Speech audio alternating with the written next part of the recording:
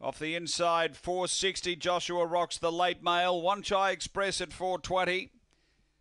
They're your three major players, and then you're out to our man Zed at eight dollars as they load away. Light on, set to go. This is race eight. The open over the five twelve. Racing, pace in the middle here from One Chai Express. Dynan H was slowly away, second last early.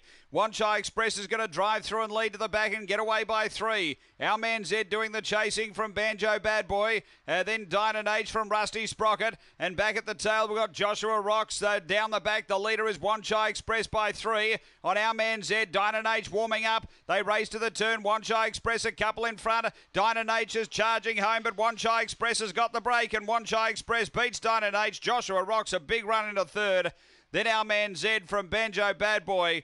And Rusty Sprocket was back toward the end. Gee, the time looks solid here around 29.7 after race number eight. And uh, straight to the lead, One Chai Express. Nicole Stanley with another winner today.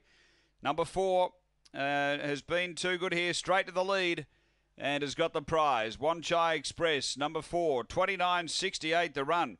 Uh, second going to eight, which is Dynan H for Dave Peckham, and third to one Joshua Rocks, who must have really run some sections home uh, for Neville Lenahan.